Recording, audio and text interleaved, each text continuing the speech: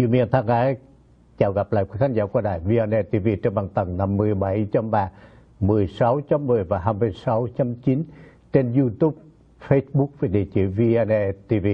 Đây là chương trình Good Morning Việt Nam America và chương trình ngày thứ hai như thường lệ là sự phối hợp giữa hai đài radio đáp lời sông núi Pháp về Việt Nam mỗi đêm nửa tiếng đồng hồ gần 10 năm qua và đại diện cho đài đáp lời sông núi ngày hôm nay là anh Trần Quốc Bảo. Trước hết kính chào anh Trần Quốc Bảo.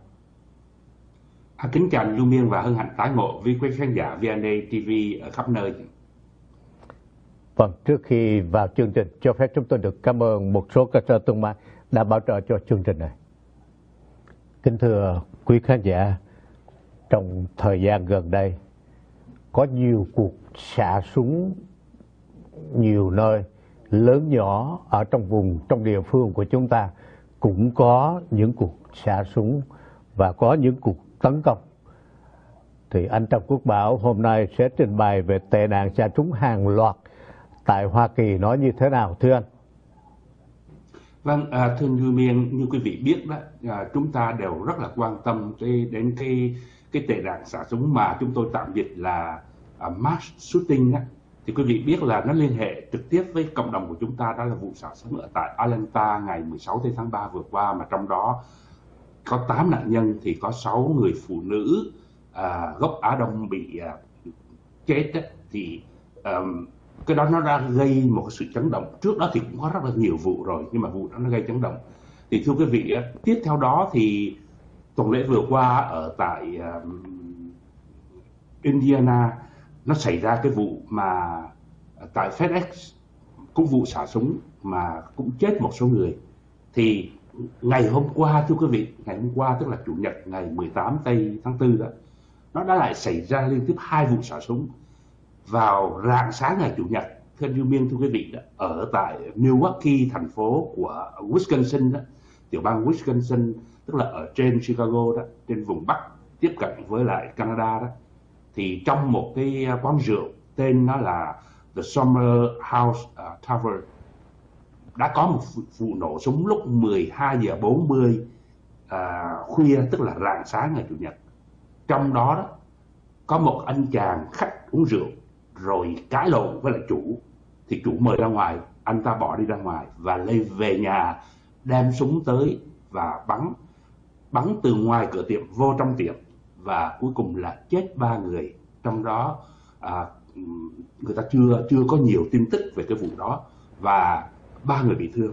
Đó đó là buổi sáng rạng sáng ngày chủ nhật thưa quý vị. Thì buổi trưa ngày chủ nhật lúc 12 giờ trưa đó ở tại à, Austin thành phố của Texas lại xảy ra một cái vụ à, bắn nữa. Thì xin à, ban kỹ thuật chiếu dùm cái hình số 10 để chúng ta thấy cái tiệm cái tiệm uh, rượu The Summer House ở tại uh, Tavern cái cái hình này là cái tay này là cái tay thủ phạm bắn ở tại Austin vào buổi trưa chủ nhật trưa hôm qua khiến cho ba người chết trong đó có hai người phụ nữ và một người đàn ông. Và người ta nghĩ rằng cái vụ ở tại Austin và anh chàng này là Stephen Prodek đó anh 41 tuổi là một cựu cảnh sát điều tra. Thưa quý vị một cựu cảnh sát điều tra nhưng mà bị sa thải vào tháng 6 vừa qua bởi vì lý do đó là anh phạm tội mà xâm phạm tình dục đối với uh, trẻ em. Và anh bị sa thải khỏi cái lực lượng này thì anh sắp súng và anh bắn. Và người ta nghĩ rằng là những nạn nhân của cái vụ bắn ở tại Austin mà thủ phạm là Stephen Broderick này Broderick này là liên hệ trong chuyện tranh chấp với gia đình với nhau. Tranh chấp với đứa con. Mà cuối cùng đó thì đứa con đó là, là không bị tai nạn gì nhưng mà hai người đàn bà và một người đàn ông. Và cho đến giờ phút này thưa quý vị hung thủ này vẫn chưa bị bắt. Hung thủ này người ta chưa biết là trốn đi đâu có ở có tại ở còn Houston ở tại Austin hay Texas hay là đã ra khỏi thành phố Austin rồi và đi đâu thì người ta chưa biết. Người ta vẫn còn truy lùng thưa quý vị. Thì quý vị thấy rằng là chỉ trong một ngày thôi ở hai vùng vùng Bắc Mỹ và Nam Mỹ ở tại Texas và ở tại Wisconsin đã xảy ra hai cái vụ. Và quý vị biết đó là xin chiếu dùm ban kỹ thuật chiếu dùm cái hình số à, uh, 12 đó để chúng ta thấy rằng là cái hình này thưa quý vị là cái hình những cuộc xả súng bắn ở tại nước Mỹ từ đầu năm tới giờ. Và số lượng người chết và những địa phương và cái thống kê này cách đây hai ngày chưa có hai cái vụ xảy ra ở Austin và ở Milwaukee, thưa quý vị. Chưa có hai cái vụ đó. Nếu kể cả hai vụ đó vô đó, thì chúng ta thấy rằng là từ trong từ trong 4 tháng đầu năm của năm 2021 này đã có 13 vụ xả súng mà gây chết ra 70 nạn nhân. Đã như kể cả hai cái vụ vừa rồi, thưa quý vị. Tuy nhiên đó người ta định nghĩa là mass shooting tức là xả súng bắn hàng loạt như vậy đó. Như thế nào gọi là mass shooting? Thì một trong những cái tiêu chuẩn đó quy định là như thế này. Như thế này thì được quy định nó gọi là một xả súng hàng loạt tức là mass shooting đó. Là nếu gây ra thương tích hoặc chết bốn người không kể thủ phạm. Tại vì quý vị biết là chẳng hạn như là ở vụ ờ, tại FedEx đó, là thủ phạm 19 tuổi tên nó sau khi nó bắn à, 8 người chết rồi đó. Nó, nó tự tự sát. Nó chết luôn. Thì trong cái trường hợp đó không kể à, à, không kể là thủ phạm đã tự bắn. Thì nếu mà có bốn người chết và bị thương thì được xem như là kể là mass shooting.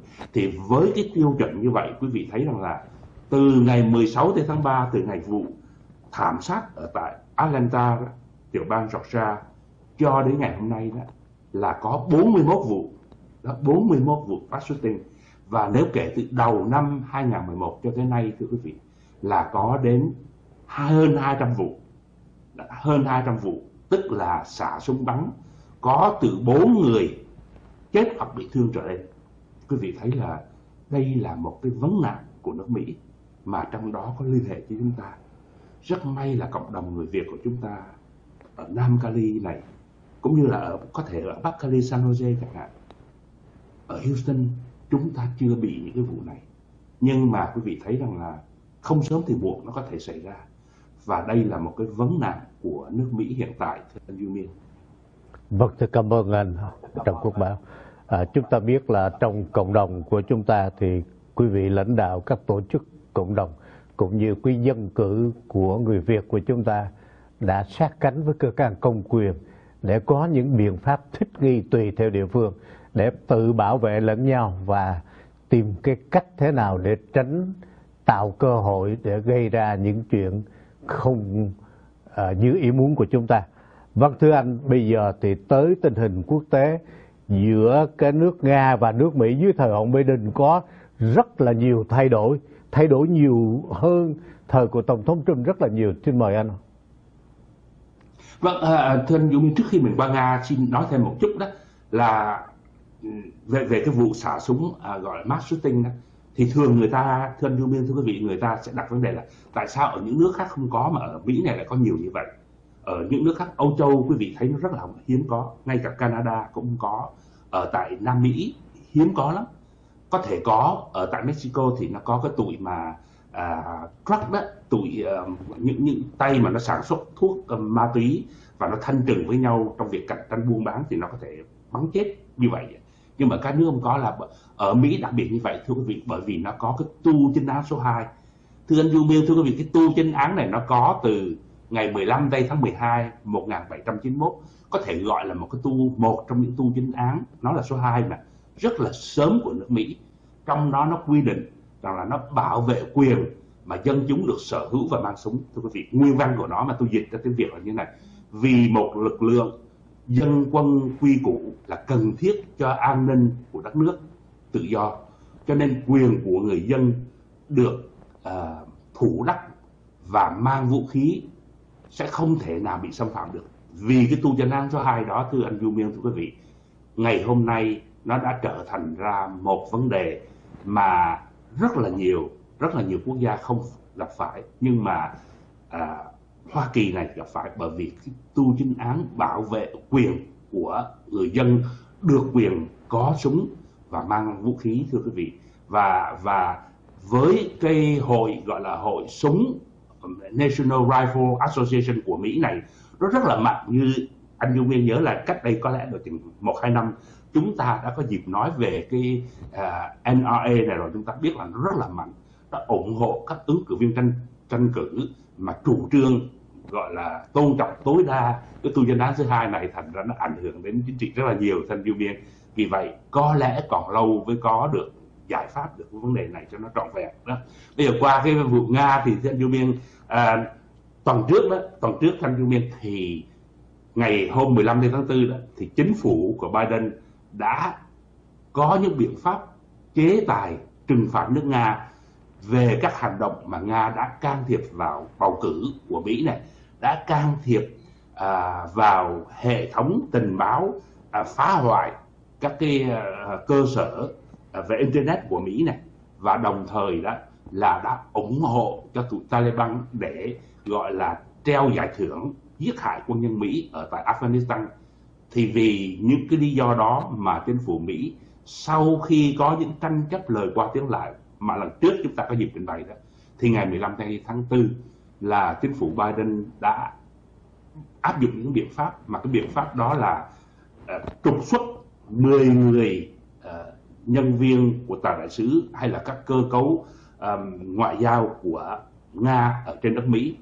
Trục xuất 10 người và đồng thời có những cái biện pháp uh, hạn chế sự di chuyển của một số giới, giới chức của Nga trên đất Mỹ cấm các cơ sở thương mại của Nga à, làm một số dịch vụ đối với những ở chính trị của Mỹ vân vân. Thành ra theo du biên chính phủ của Joe Biden đã áp dụng những biện pháp trừng trị tiếp tục trừng trị Nga.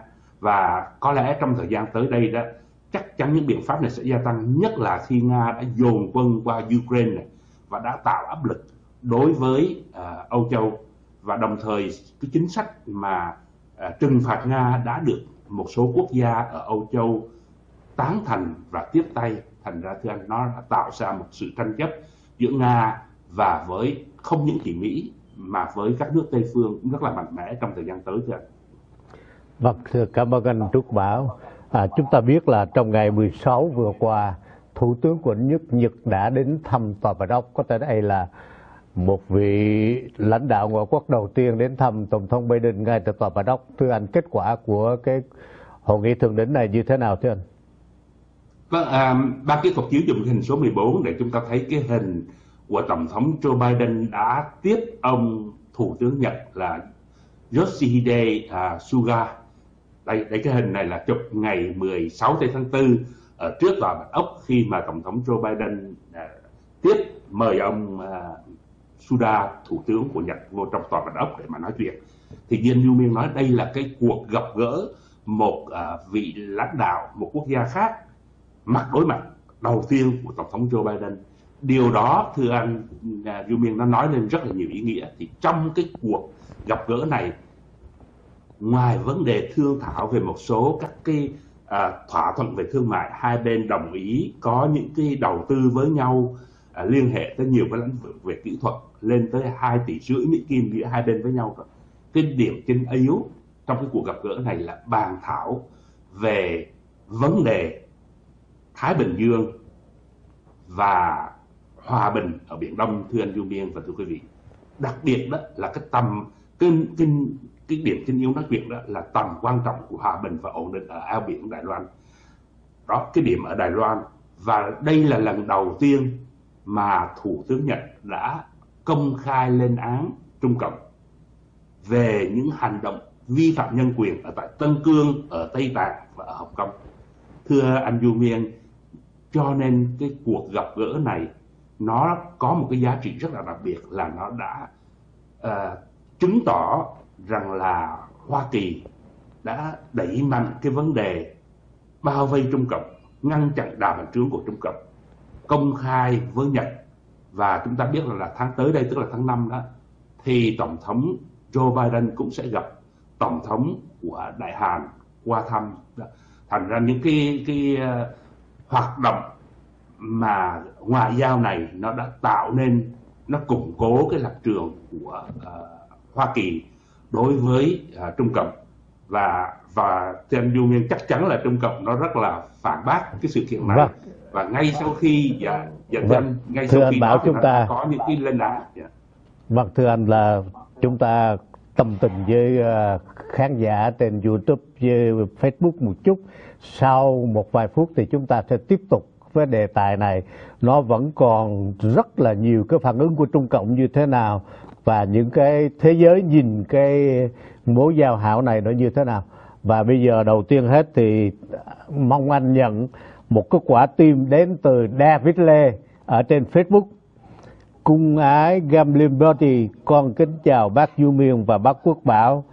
Chúc hai bác nhiều sức khỏe. Cho chúng ta ba quả tim, ba đóa hoa hồng và ba cái thơm úp. Cảm ơn cung ái. Anh Trần Văn Tích ở bên Đức thì xin chào hai anh. Cảm ơn anh Tích. Huỳnh Thị Thúy, con chào bác Du Miên và chú Bảo ở Việt Nam. Nha Trang giờ này là 12 giờ, con đang chờ chương trình của bác Du Miên. Thưa anh là anh ở Nha Trang đó là nhớ lại cái thời hải quân của anh nha. Vâng, cảm ơn à, Huỳnh Thị Thúy. Mr. Suga, đường Trần ở Los Angeles. Chào anh Trần Quốc Bảo và anh Du Miên. Xin chúc hai anh luôn sức khỏe và an bình. Nước Mỹ ngày nay thời bình sao mà giống như thời chiến. Thật không thể tin nổi ông Biden và chính quyền ơi, luật pháp của các ông đang ở nơi đâu? Cảm ơn anh Đường Trần đã nêu lên ý kiến. Bác sĩ Tuyết Đào, New York, Nga cũng lại muốn làm bá chủ hoàn cầu cùng với Trung Cộng nên đều làm những hành động như nhau. Trong khi đó đó thưa anh Trần Quốc Bảo bên YouTube thì giờ này chúng ta có khá nhiều đây để tôi đọc. Đầu tiên hết là Yến Lê Lê Thị Ngọc Yến, hai anh. Rồi sau đó Ly Dèn là cho chúng ta năm cái quả tim. Cảm ơn Yến Lê và Ly Dèn. Kim Phượng của San Jose Kính chào anh Trần Quốc Bảo và anh chú Du Miên. Chúc sức khỏe và bình an. Gửi cho chúng ta nhiều quả tim đếm không hết. Quá là nhiều luôn. Cảm ơn Kim Phượng. Cùng ái vừa coi bên Facebook, vừa coi bên YouTube. Cung ái con kính chào hai bác, chúc hai bác nhiều sức khỏe, gửi cho chúng ta vô cùng nhiều quả tim có, bông có, sáu cái thơm úp và quả tim nhỏ nhỏ thì một số thiệt là nhiều luôn. Cảm ơn cung ái gia đình, các con, cũng như là các bạn hữu cung ái khắp Âu Châu đã qua đài của chúng tôi. Tom Hy thì chỉ có gửi là ba quả tim nhiều hình mà toàn là tán đồng và quan hô chúng ta. Cảm ơn Tom Hy Thạch Dân kính chào chú Trần Quốc Bảo và chú Du Miên chúc hai chú tràn đầy sức khỏe. Đi kê không biết viết tắt một số không biết chữ gì hết. Nhưng mà có nhiều quả tim và nhiều hoa hồng. À, Kim Phượng là viết tiếp cầu cho Resena chia năm sẽ bảy như Liên Xô ngày xưa. Thì thế giới này mới được bình an. Cảm ơn quý à, khán giả trên Facebook này trên YouTube nè, quý vị nhớ là trên YouTube thì quý vị có một cái chuông ở bên tay phải. Quý vị nhấn trở thành người subscriber tức là người ghi danh, để cho chúng tôi có thêm người được xem đài. Còn ở bên Facebook thì quý vị cứ nhấn like like like, thả tim, thả, nếu thích thì thả hoài thả hoài. Không tốn đồng nào hết, giúp cho chúng tôi có một cái sức mạnh. Và nếu như chương trình mà còn thích nữa đó thì quý vị share gửi cái link cho bạn bè của mình cùng xem đài VND TV. Cảm ơn quý vị. Và thưa anh Trần Quốc Bảo, tình hình uh, thời tiết đi trong vùng phía trường Los Angeles như thế nào thưa anh? Vâng, à, trước hết trên Như Miên là chúng tôi rất là cảm ơn quý khán giả ở khắp nơi đã chia sẻ qua YouTube và qua Facebook à, và và gửi lại cho chúng tôi những quả tim như vậy chúng tôi và chắc chắn Du Miên cũng sẽ gửi à, trở lại quý vị những quả tim và những lời cầu chúc thân ái đặc biệt là trong à, bình an trong cái dịp đại dịch này. Mặc dù là tương đối tại Mỹ này đó, tương đối là bởi vì bây giờ 50% những người à, trên 10 18 19 tuổi đó trên 50% đã được chích ít nhất là một mũi rồi tức là hơn một trăm mấy chục triệu người đã được chích một mũi rồi. Ít nhất là một mũi đó. Thì à, cái tình hình tương đối là nó khả quan nhưng mà ở các nước khác thì nó rất là còn nặng nề. Vì vậy chúng tôi rất là cầu chúc quý vị ở khắp nơi được bình an. À, đó là cái, cái ưu tiên hết. Thưa anh ở trên này nắng ấm lắm. Rất nắng vâng, đẹp. thưa anh à, cảm ơn anh. Dạ, dạ. bây giờ là trước khi trở lại chương trình cho phép chúng tôi cảm ơn một số cơ sở thương mại đã bảo trợ cảm ơn quý khán giả vẫn ủng hộ cho các cơ sở thương mại đã bảo trợ cho đài chúng tôi kính thưa quý vị, chuyến đi của Thủ tướng Nhật Bản đến thăm Tòa Bạch Ốc trong ngày 16 tây tháng 4 vừa qua đã gặp được một phản ứng giận dữ từ Trung Cộng nhưng những nước đồng minh của Hoa Kỳ rất là bằng lòng với chuyến đi này, phải không anh Trần Quốc Bảo? Vâng đúng vậy dạ thưa anh Du Miên ngay sau khi có cái cuộc à, tiếp xúc của Thủ tướng Suda và Tổng thống Joe Biden của Mỹ đó thì à, và và có cái cuộc họp báo ra cái thông cáo chung nói lên cái ý chí quyết tâm à, ủng hộ cho tự do dân chủ à, và đặc biệt là lên án Trung Cộng à, đã tạo ra cái sự bất ổn ở tại Biển Đông và Biển Hoa Đông thì à, đầu tiên hết là tòa đại sứ của Trung Cộng tại Hoa Thành Đốn đã có những cái uh, một cái thông cáo ra rất là mạnh mẽ và đồng thời ở tại uh, Hoa Lục đó, Bắc Kinh đó thì phát ngôn viên Bộ Ngoại giao cũng lên tiếng xin uh, ban kỹ thuật chiếu dùm hình số 15 để chúng ta thấy cái hình của phát ngôn viên uh, Bộ Ngoại giao của Trung Cộng ở tại uh, Bắc Kinh đó. Thì thưa anh Du Miên thưa quý vị nó tập trung lại thì cái sự phản phản phản công lại. Nó chỉ tập trung ở cái chỗ là những vấn đề Tân Cương, vấn đề à, Hồng Kông và vấn đề Duy Ngô Nhĩ đó à, và Tây Tạng là chuyện nội bộ của Trung Cộng. Và các nước bên ngoài không có quyền xía vào đó là cái cái nội dung hay cái cách thức biện hộ rất là thông thường đối với Trung Cộng và đối với những đảng cộng sản và với chế độ độc tài các nơi thì đó là cái cách thức để mà họ biện minh cho hành động của họ. Và thứ hai nữa là tố ngược lại là chính những cái sự cam kết của Nhật và Mỹ nó đã tạo ra sự bất ổn ở tại uh, Thái Bình Dương ở tại biển Hoa Đông ở tại biển Đông. Và đồng thời đó là những cái hành động này mục tiêu đó là để chia rẽ nội bộ những nước ở trong vùng. Thì quý vị thấy là có ba cái cái luận cứ mà Trung Cộng cũng như nhiều nước khác độc tài khác nó hay sử dụng. Đó là những cái, cái lý do nó đưa ra là như vậy thôi. Trần Lưu Biên quan đi quẩn lại nó cũng chỉ có những luận cứ như vậy thôi anh. Vâng thưa cảm ơn anh à, Trần Quốc Bảo.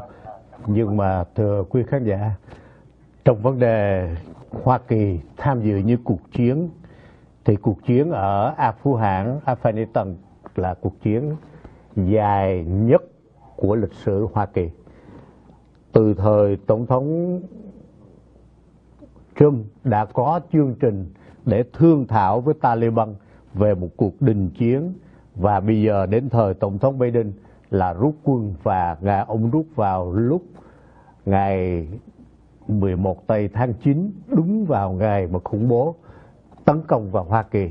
Nó có nhiều ý nghĩa nhưng mà ngày hôm nay có lẽ là chúng ta không nói đến ý nghĩa tại sao chọn ngày 11 tây tháng 9. Nhưng anh Trần Quốc Bảo sẽ phân tích tỉ mỉ cho quý vị tại sao Hoa Kỳ rút và cái tuyên bố trong cái tuyên bố của Tổng thống Biden nó có những điểm ngắn như thế nào thưa anh?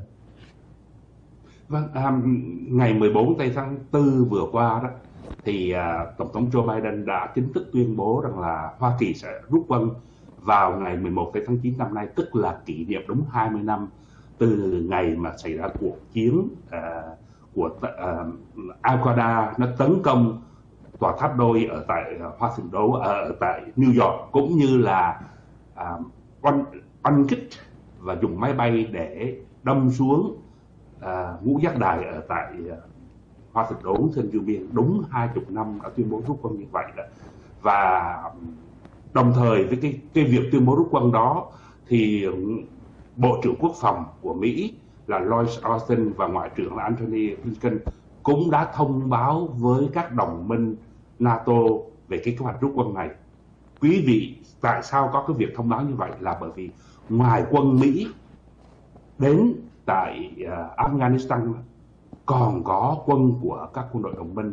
Và thưa anh Yumi số quân đội đồng minh này đó có lúc đã hơn số quân đội của Mỹ ở tại Afghanistan. Cho nên cái việc tham chiến của quân đồng minh mà nói chung là NATO đó cao điểm đã, đã có lúc lên tới gần 40 quốc gia tham chiến đó. Và cao điểm của nó là 42.000 quân của đồng minh cộng với lại 90.000 quân của Mỹ. Đó là vào năm 2011 cái lực lượng nó quan trọng là như vậy. Thành ra cái việc tham chiến của đồng minh ở tại đó. Um, thưa quý vị thưa anh Miên khi nói đến cuộc chiến của Mỹ tham dự ở Afghanistan nó là một chuỗi dài. Và như quý như chúng ta đều biết đó nó khởi đầu từ ngày 11 tháng 9 khi mà Al Qaeda của Bin Laden đã dùng ba chiếc máy bay một chiếc đánh nhẹ rồi bốn chiếc mà một chiếc nhờ những hành khách người Mỹ trên đó họ đã phá để cho nó đâm xuống dưới rừng không gây thiệt hại còn ba chiếc kia nó đâm vào tòa tháp đôi ở New York và ở bộ quốc phòng uh, tòa uh, ngũ giác đài ở tại Washington đó.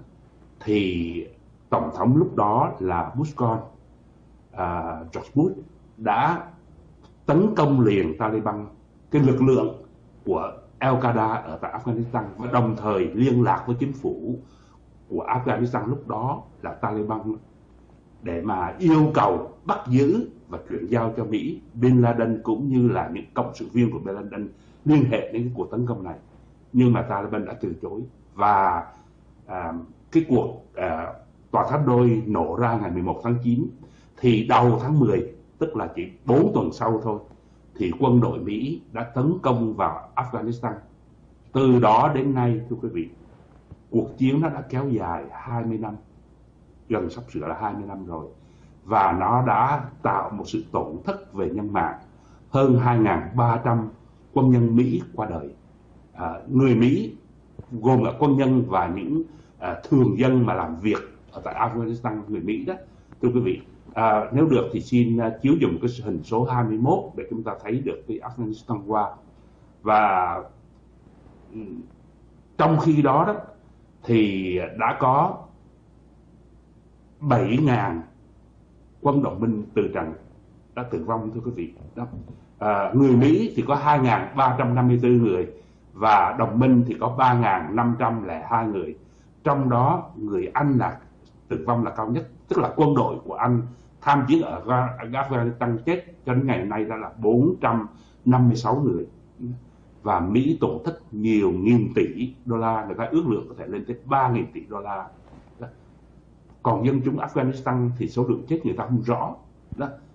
Mà người ta ước lượng có thể lên tới 80.000 người đã tử vong, người Afghanistan tử vong trong những này trận chiến nó kéo dài 20 năm đã qua ba bốn đời tổng thống Mỹ từ ông Bush con, Obama, ông Trump và bây giờ ông Biden. Và trong khi đó ở tại cái Afghanistan thì nó đã có hai đời tổng thống thưa quý vị đã qua hai đời tổng thống. Và cái vấn đề mà như anh Du Miên nói đó cái hòa ước ở Afghanistan thì thật ra là từ năm 2011 dưới thời tổng thống Obama người ta đã nói đến chuyện là thương thảo với à, Taliban để mà mà có một cái chính phủ liên hiệp giữa Taliban và cái thành phần không không phải là cực đoan hồi giáo để mà trở thành một chính phủ liên hiệp. Và lúc đó thì Mỹ rút quân. Và nó đã trải qua nhiều cuộc thương thảo với sự tham dự của Nga của của Iran của Tàu của Turkey. Nhưng mà cuối cùng thì nó được đẩy mạnh vào tháng 2 năm 2020 dưới thời của Tổng thống Trump, Donald Trump. Và đã có lúc đó, như quý vị biết Tổng thống Donald Trump dự trù mời đại diện của Taliban đi qua tại Camp David để mà gặp gỡ để nói chuyện đó. Thế nhưng mà cái cuộc đó nó không thành. Và ông Trump đã hứa rằng là ông nói là nếu ông còn tiếp tục cái nhiệm kỳ thì sẽ rút quân vào tháng 5 sắp sửa tới đây tức là tháng tới này. Nhưng mà khi ông Biden lên thì ông đã quyết định rút quân là ngày 11 tây tháng 9 thưa quý vị. Đúng 20 năm xảy ra từ cái cuộc mà nổ ở tại tòa tháp đôi à, ở New York. Đúng 20 năm. Thưa, và thưa anh Như Miên à, người ta chưa biết là tương lai của Afghanistan sẽ như thế nào. Người ta chưa biết được. Bởi vì người, cái cái, những giới chức liên hệ tới quân sự của Mỹ đó họ không đồng ý không tán thành với cái cuộc rút quân này. Bởi vì người ta nghĩ rằng là nó cũng giống như ở Việt Nam. Khi mà chính phủ Mỹ không còn tham chiến trực tiếp như này nữa đó thì Taliban bây giờ nó đã chiếm được 75% đất đất nó cai quản được 75% đất đai ở trên uh, Afghanistan. Nhà chính phủ của Kabul đó thủ đô Kabul chỉ coi được 25% tức là những thành phố lớn, thủ đô và những thành phố lớn mà thôi. Còn những vùng thôn quê rừng rúi thì là Taliban nó kiểm soát hết. Cho nên người ta nghĩ rằng là Taliban có thể nó sẽ đánh chiếm và bao nhiêu công sức của Mỹ đổ ra để xây dựng một chế độ dân chủ ở tại cái đất nước Afghanistan này đều thành ra mây khói. Theo như biên đó đó là cái vấn đề nó rất là tang thương đối với Afghanistan mà nói đến Afghanistan với cái hoàn cảnh như vậy thì ta thấy tương đối nó giống với Việt Nam thôi. Cái hình quý vị coi đó là cái hình thương thảo giữa chính phủ Mỹ ba bên đó giống hệt như ba bên như là uh, thời mà bàn thảo ở tại Paris đó thì là một bên là Taliban một bên là Hoa Kỳ và một bên là chính phủ Kabul. Đó là ba bên. Và cái này nó xảy ra nó diễn ra ở tại Qatar là một xứ uh, tiểu tiểu quốc của khối hồi giáo.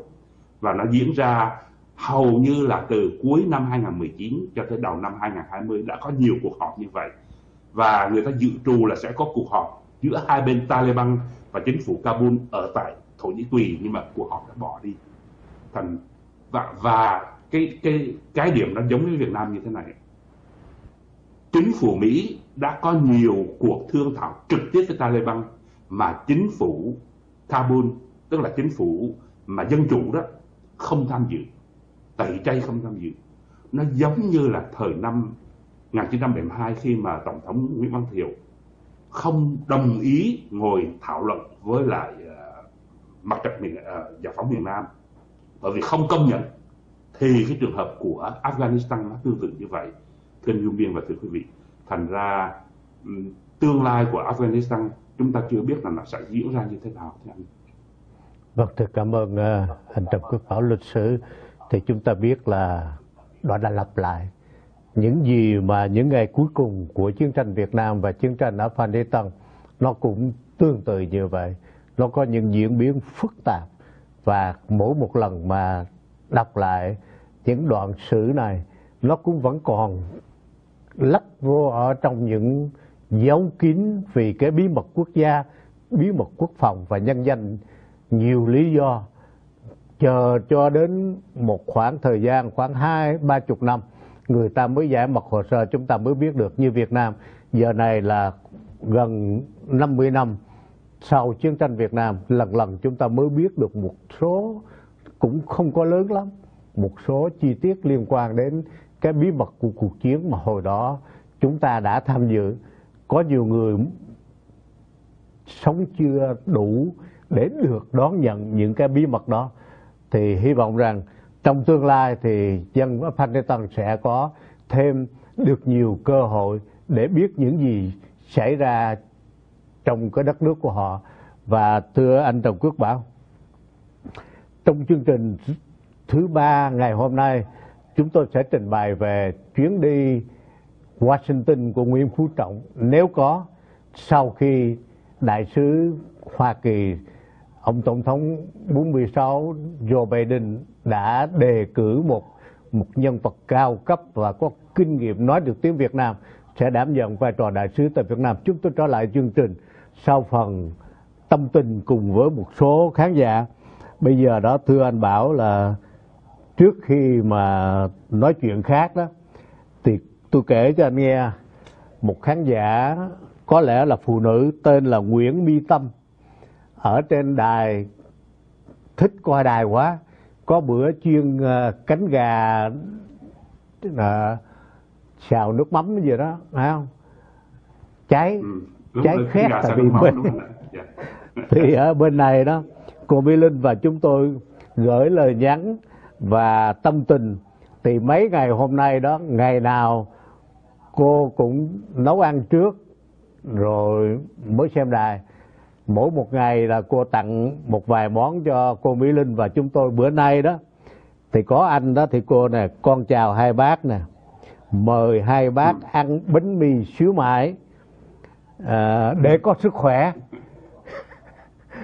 Cảm ơn à, cô Nguyễn Bia Tâm. Chắc chắn anh Trần Quốc Bảo cũng rất cảm động khi được ăn bánh mì xíu mại. Không biết là cô ở chắc ở Việt Nam chắc. Yeah. cảm ơn anh à. À, dạ, tôi tôi xin tạm nhắc lời Như Biên để để xin nói về cái chuyện mà tặng tặng bằng qua cái hệ thống điện thoại hay là tặng bằng lời nói như thế này đó. Thì uh, ở bên Pháp nó có một cái chuyện là cái chủ quán đó người ta uh, đi qua tiệm cái mùi thơm ở trong tiệm thổi ra thành ra một vài người đứng ngửi. Thì chủ quán ra đòi tiền nên như người ta chủ quán các anh cứ cái mùi của tôi á, là chúng tôi nó là các không ăn nhưng mà anh ngửi mùi cũng là đã thưởng thức rồi. Do đã canh trả tiền. Thì à, anh biết cái sự kiện gì mấy người đứng người họ họ trả lời sao họ rút họ nắm một nắm đặt cắt ở trong tay đó. Họ bỏ một cái gói giấy họ rắc rang rang rang rang rang lên cái tiếng rang rang đó anh nghe cái tiền rang chưa đó là cách trả cho anh đó. Thì, thì, thưa cô Minh Tâm đó trời ơi cô Minh Tâm mà tặng những cái món ăn mà kiểu này mà gọi là uh, món ăn ảo đó tức là như, thế này đó thì chắc anh Dương Miên với tôi chắc có một ngày nào đó chắc mình ốm o lắm là bởi vì thèm quá mình không có đồ ăn tận Dương Miên vâng. vâng thưa anh Trần Quốc Bảo cảm ơn anh đã góp ý vô một cái một cái câu chuyện ở bên Pháp rất là hay. Và một lần nữa cảm ơn Mi Tâm nói chi thì nói những quý vị khán giả đã yêu mến chúng tôi thức đêm thức hôm ở nhiều nơi để theo những chương trình của đài và gửi những cái comment dí dỏm cũng như là chia sẻ những kinh nghiệm sống à, chẳng hạn như ngày hôm nay thì Xuân Hương Nguyễn thì cho rằng mến chào hai chú và luôn cầu chúc đến hai chú an vui và mạnh khỏe. Cũng cảm ơn đài đã đưa tin rất chính xác và chán thật. Mến chào from Đan Mạch. Và Nguyễn Lệ Minh thì cho anh với tôi một cái bông hồng. Nguyễn à, anh Hải Tăng chào hai anh chúc sức khỏe và anh chị em anh Trần Văn Tích thì uh, dịch Covid không đáng sợ bằng dịch Biden.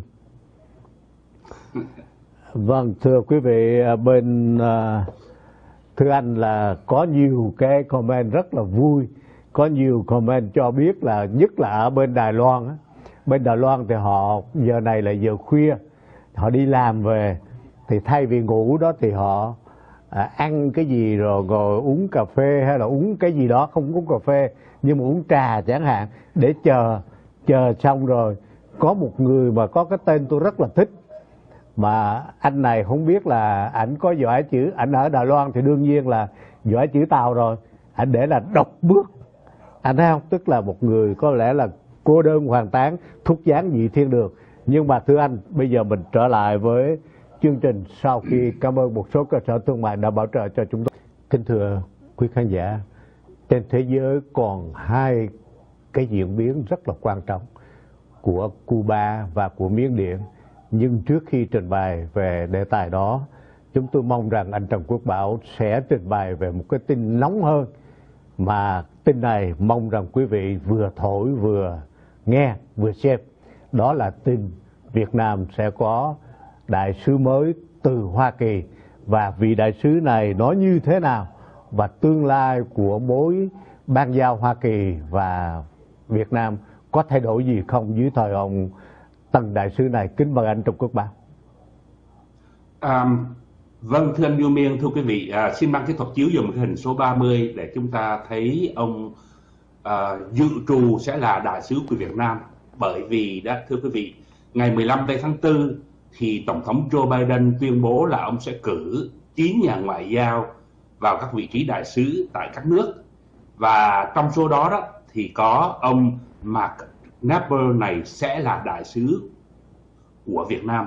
Chỉ nhưng bây giờ thì ông ta còn phải trải qua cái việc uh, gọi là uh, nói chuyện và trả lời những câu hỏi của uh, thượng viện ủy ban ngoại giao của thượng viện À, và ông này nếu mà được thông qua và người ta nghĩ rằng là ông này sẽ được thông qua đó thì ông ta sẽ là à, đại sứ của Việt Nam thay thế cho ông đại sứ hiện tại là Daniel uh, mà chút xíu nữa đây chúng tôi sẽ đề cập tới ông cựu đại sứ này đó. Thì uh, Mark Nepper năm nay trẻ lắm thưa quý vị mới có 50 tuổi mà thôi và là một nhà ngoại giao chuyên nghiệp và đặc biệt là có rất là kinh nhiều kinh nghiệm ở tại uh, châu Á ở tại Á Châu đó. Vào tháng 8 năm 2018 đến nay thì hiện tại đó ông ta là phó phụ tá ngoại trưởng chuyên trách về Nam Hàn, Nhật Bản và Đông Á Thái Bình Dương à, tại Bộ Ngoại giao Mỹ. Hiện tại ông là coi như là phụ tá cho ngoại trưởng chuyên về cái lĩnh vực đó. Và trước đó thì ông đã làm việc ở tại Tokyo, ông đã làm ở trong tòa à, đại sứ của Tokyo của Mỹ ở Tokyo, ở tại Hán Thành, Seoul, tại Hà Nội và và Baghdad của là tức là thủ đô của Iraq đó thưa quý vị tại Hà Nội thì ông ta đã làm tham tán chính trị của Đại sứ quán Hoa Kỳ trong 3 năm từ năm 2014 cho tới năm 2017. À, ờ, ông tốt nghiệp nhiều cái trường chuyên chuyên viên. Ờ, tốt nghiệp thông thường đó là ông học ở Đại học Princeton University và học về cao học của uh, tại cái Army War College.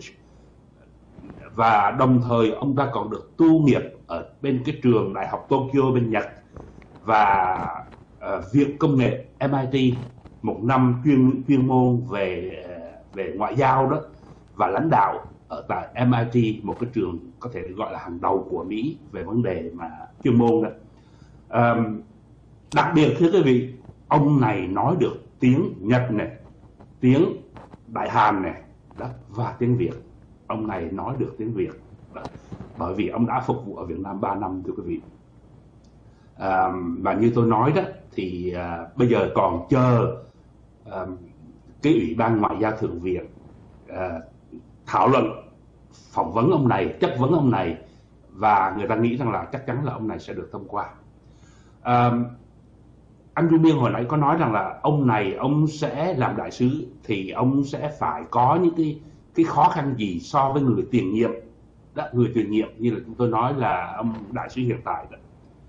À, trước nhất đó là bối cảnh chính trị thế giới đã thay đổi rồi bây giờ Hoa Kỳ chú trọng để bao vây mạnh mẽ Trung Cộng và thứ hai nữa đó qua đại hội 13 với cái bộ uh, chính trị mới với cái thành phần chính phủ mới của Cộng sản Việt Nam thì chúng ta thấy rằng nó có những cái thay đổi căn bản mà có thể gây ra gây khó khăn cho ông tân đại sứ Mark Nepper trong thời gian tới.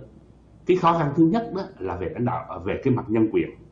Nếu vị đại sứ trước đây đó không đặt nặng về vấn đề nhân quyền bởi vì à, cái chính phủ tiền nhiệm đã không của Mỹ đó đã không chú trọng nhiều tới vấn đề nhân quyền mà chỉ chú trọng đến vấn đề thương mại và một phần nào đó về vấn đề an ninh chính trị thì kỳ này tổng thống Joe Biden đó đã đặt nặng vào vấn đề nhân quyền mà trong báo cáo nhân quyền vừa rồi đó ông ngoại trưởng của Mỹ cũng đã nói rằng là nó đã thiếu bởi vì nó soạn từ năm báo cáo nhân quyền năm 2020 do chính phủ trước soạn. Nó đã thiếu đề cao đến một số yếu tố đòi hỏi một số cái lĩnh vực. Đó thì kỳ này cái chính phủ này sẽ đặt nặng về vấn đề nhân quyền. Và đó đó là về mặt chính phủ. Và cá nhân ông này cá nhân ông Mark Nepper này ông cũng đặc biệt về nhân quyền. Tại vì cách đây có 3 tháng thôi. Trong một cuộc họp à, thảo luận về vấn đề nhân quyền thì ông ta đó khi họp với lại đại diện của Nhật Bản và đại diện của Đại Hàn đó, thì ông ta đã nói mà tôi trích nguyên văn như thế này chúng tôi công nhận cả Nhật Bản lẫn Nam Hàn đều có quan hệ phức tạp và tế nhị với Trung Quốc về thương mại và các mặt khác. Chắc chắn là chúng tôi không đề nghị kiềm chế Trung Cộng hay Trung Quốc hay cắt đứt quan hệ với họ mà mục đích của chúng tôi là các đồng minh của Mỹ như Nhật Bản và Nam Hàn, những nước có chung giá trị và các nguyên tắc dân chủ với Mỹ cần đứng lên bảo vệ và duy trì các giá trị và các nguyên tắc này. Quý vị thấy rằng là với sự nhấn mạnh như vậy đó thì chắc chắn rằng là tập trung nỗ lực của ông Tân đại sứ Mỹ tại Việt Nam trong thời gian tới đây đó, sẽ là đề cập tới vấn đề nhân quyền. Nhưng mà ngoài cái, cái khó mà vị đại sứ tiền nhiệm thì không có cái vấn đề đó. Cái vấn đề thứ hai nữa đó là với cái thành phần chính phủ mới của Cộng sản Việt Nam mà trong đó thủ tướng là Phạm Minh Chính, là cái thành phần mà thân Trung Quốc, thành phần cứng rắn và thân Trung Quốc, cũng như là nhiều sự, vị bộ trưởng trong nhiệm như bộ trưởng thương mại của cộng sản Việt Nam hiện tại, cũng là có khuynh hướng thân Trung Quốc rất là rõ ràng. Do đó mà ông đại sứ, tân đại sứ Mark Nepper này của của Mỹ, chắc chắn là không dễ dàng để thuyết phục cái chính phủ Việt Nam chính phủ của cộng sản Việt Nam cùng với chính phủ của Mỹ Nhật và Đại Hàn tạo áp lực ở tại địa phương đối với Trung Cộng. Thì đó đó người ta cho rằng là ông đại sứ Việt Nam mới này thưa anh Du Biên trong thời gian tới này ông sẽ không được thuận lợi như là ông đại, đại sứ cũ. Ông sẽ có những sự khó khăn khi thương thảo với lại chính quyền cộng sản Việt Nam thì anh Vâng, thưa anh, còn cái tiếng vọng mà Nguyễn Phú Trọng đi thăm Washington DC thì nó đến đâu rồi thưa anh? À, vâng, cái điểm này thì à, là một cái điểm rất là đặc biệt đó. À, và và xin à, ban kỹ thuật chiếu dùng cái hình số 31 đó là cái hình của à, Nguyễn Phú Trọng. Tiếp đại sứ hiện tại của Việt Nam của Mỹ tại Việt Nam này là Daniel uh, Christian Brink đó. Cái hình này nó chụp ngày 16 tây tháng 4 thưa quý vị tức là thứ sáu tuần vừa rồi đó thì đại sứ của Mỹ đương nhiệm đó hiện tại đó là Daniel uh, Christian Brink đó đã đến thăm Nguyễn Phú Trọng đó với tư cách là để mừng Đảng Cộng sản Việt Nam thành công trong việc tổ chức đại hội thứ 13 và mừng cái ban chấp hành trung ương của Đảng Cộng sản Việt Nam mà trong đó Nguyễn Phú Trọng làm tổng bí thư. Cái mục tiêu của gặp gỡ này đối với Daniel Christensen là vậy. Đó. Nhưng mà nó điểm đặc biệt ở đây mà chúng tôi muốn thưa với quý vị đó là theo báo chí của Cộng sản thì trong cái cuộc gặp gỡ này, này đó, tôi xin đọc nguyên văn của báo chí Cộng sản đó, nó tường trình nha. Tổng bí thư Nguyễn Phú Trọng đề nghị đại sứ chuyển lời cảm ơn đến Tổng thống Mỹ Joe Biden đã gửi thơ chúc mừng Tổng bí thư Nguyễn Phú Trọng được bầu lại làm Tổng bí thư Ban chấp hành Trung ương Đảng Cộng sản Việt Nam. Trân trọng mời Tổng thống Mỹ sớm thăm Việt Nam. Tổng bí thư bày tỏ tin tưởng dưới nhiệm kỳ của Tổng thống Joe Biden quan hệ Việt Nam-Mỹ sẽ tiếp tục phát triển hậu quả, hiệu quả và có thực chất. Quý vị thấy rằng là Nguyễn Phú Trọng chính thức nhờ đại sứ của Mỹ chuyển lời mời Tổng thống Joe Biden thăm Việt Nam thì với cái sự kiện đó đó tôi nghĩ rằng là cái chuyến đi của uh, Nguyễn Phú Trọng đến Mỹ mà người ta dự trù trong vài tháng tới đây đó thì cái xác suất có lẽ nó thấp lắm anh Du Miên và thưa quý vị. Là bởi vì nếu nếu đã có sự chuẩn nếu một chuyến đi như vậy nó phải chuẩn bị nó phải có sự thương thảo giữa hai bên đồng ý của hai bên và nó phải chuẩn bị nhiều trước. Và khi đã chuẩn bị như vậy rồi thì ít khi mà lại có cái lời bày tỏ mời tổng thống Mỹ sớm thăm Việt Nam. Có thể gọi là hy vọng sớm có dịp gặp tổng thống Joe Biden chẳng hạn thay vì là trân trọng mời tổng thống Mỹ sớm thăm Việt Nam. Thì cái điều đó tôi thấy là nó nó nó nó khó nó khó diễn ra cái cuộc mà có thể tổng thống uh, tổng bí thư Nguyễn Phú Trọng sẽ thăm Mỹ trong thời gian tới thì tôi nghĩ là cái xác suất nó khó. Thêm một sự kiện nữa và xin uh, ban kỹ thuật chiếu dùng hình số 32 tức là cái hình giữa Nguyễn Phú Trọng và Putin. Thì ngày 5 tháng 4 đó đã có một cuộc nói chuyện giữa Nguyễn Phú Trọng và Putin của Nga. Thì xin xin tôi xin trích một cái đoạn câu này cũng là báo chí của cộng sản nó đăng sau khi nó tường thuật cái buổi gặp gỡ ngày 5 tháng 4 này đó, nó đăng như sau này nhé. Tổng Bí thư Nguyễn Phú Trọng trân trọng mời Tổng thống Vladimir Putin thăm chính thức Việt Nam trong năm 2021, tham dự bế mạc năm Việt Nam tại Liên bang Nga và năm Liên bang Nga tại Việt Nam. Tổng thống Vladimir Putin đã vui vẻ nhận lời. Tức là trong năm nay đó, Putin sẽ chính thức thăm Việt Nam. Đó. Và và đã nhận lời với Nguyễn Phú Trọng rồi mà. Thì thành ra chúng ta biết là Mỹ đương có những cái biện pháp trừng trị đối với Nga và ông Putin là cái người trực tiếp ban hành những lệnh đó và nhấn mạnh những cái điểm đó trước và nói Putin là một cái người xấu là một kẻ nguy hiểm trước đây cách đây hai tuần thì chúng tôi đã tường trình được cái việc này rồi. Thì bây giờ đó là là mời Putin qua Việt Nam thì có lẽ rằng là cái việc mà à, Putin qua Việt Nam cái việc Joe Biden chấp nhận lời mời qua Việt Nam thì cái chuyện đó khó xảy ra. Cũng như là cái chuyện mà Nguyễn Phú Trọng qua thăm Mỹ trong thời gian gần tới đây đó thì cái chuyện đó chúng tôi nghĩ là nó cũng khó xảy ra. Đó. dĩ nhiên là Mỹ rất cần Việt Nam trong vấn đề bao vây Trung Cộng và Việt Nam đương đi ở thế đu dây nhưng mà nghiêng về Trung Cộng nhiều hơn là nghiêng về phía Mỹ. Cho nên cái việc liên hệ giữa hai bên thì nó vẫn có cái sự liên hệ cần thiết, nhưng mà nói rằng là nó chặt chẽ đến độ là Nguyễn Phú Trọng qua thăm Mỹ hoặc là ông Biden qua Việt Nam thì cái vấn đề đó tôi thấy hơi khó. Có thể một giới chức khác của Việt Nam qua Mỹ chấp nhận qua Mỹ để biểu tỏ cái sự liên lạc hai bên chặt chẽ nhưng mà nếu đích thân của Nguyễn Phú Trọng qua thì theo nhận định của chúng tôi là nó hơi khó xảy ra thân du biên. yeah. Dạ.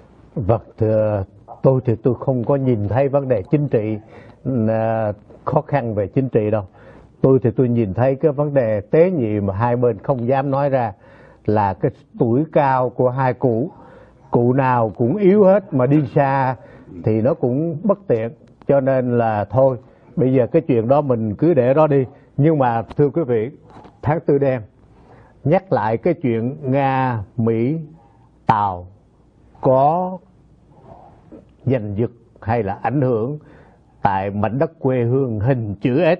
Tôi nói như vậy là từ Nam chia Bắc. Bài học lịch sử của chiến tranh Việt Nam mà chúng ta đã trải qua, tôi tin rằng người dân cả hai miền Nam và Bắc mình rút được một kinh nghiệm và chắc chắn trong cuộc đấu tranh mới của đất nước chúng ta với những bất công, với dân chủ, với nhân quyền, với những đòi hỏi cuộc sống của một người dân của chúng ta như những người dân bình thường trên thế giới, chắc chắn những nhà đấu tranh sẽ nghĩ đến vấn đề này nhiều hơn và tin rằng bài học đó là bài học mà chúng ta không thể nào quên được rất tiếc là hôm nay không trình bày được hai đề tài mà chúng tôi rất là tâm đắc. Đó là vấn đề thay đổi lãnh đạo tại Cuba. Đại khái là bên Cuba, ông em ruột của ông xếp chồng Fidel Castro đã chịu bước xuống để nhường lại cho một người không phải trong dòng họ của ông. Đây là một bước tương đối tỏ ra một cái chỉ dấu hy vọng cho Cuba. Chưa biết như thế nào nhưng bây giờ thưa anh Bảo chúng ta chỉ còn có 30 second đó mời anh chào khán giả của đài. Một lần nữa chúng tôi uh, rất là cảm ơn quý vị đã theo dõi chương trình đặc biệt uh, của chúng tôi nói chuyện Văn Du Miên ngày hôm nay. Và một lần nữa cũng cảm ơn tất cả quý vị đã gửi những quả hình, những quả tim, những món ăn đến Tranh Du Miên và chúng tôi ngày hôm nay hy vọng được gặp lại quý vị trong thời gian tới. Trân trọng kính chào toàn thể quý vị. Good